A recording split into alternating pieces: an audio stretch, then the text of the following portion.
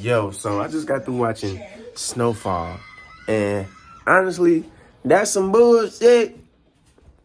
That's some bullshit. That's some bullshit. You dig? Okay.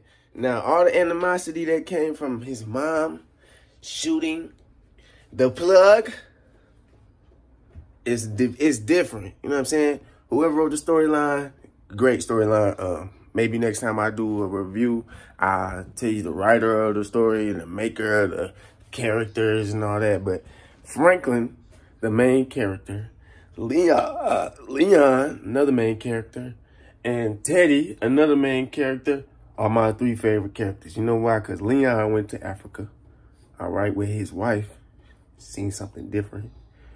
Teddy, right, he was willing to give up the half the bread, and Franklin, just opening the safe part was just intense.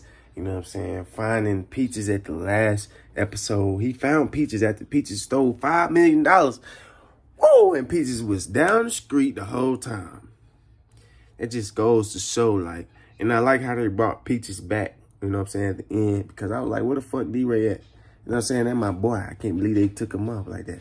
But nah, he was there at the end getting shot on the couch. He turned into a junkie, a rich, broke junkie.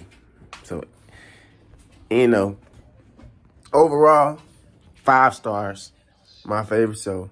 And I'm still watching it again just to see if I can see something different. But it, it's, um, this shit fire. You know what I'm saying? If y'all haven't seen it, go check it out from episode one all the way through. Feel me?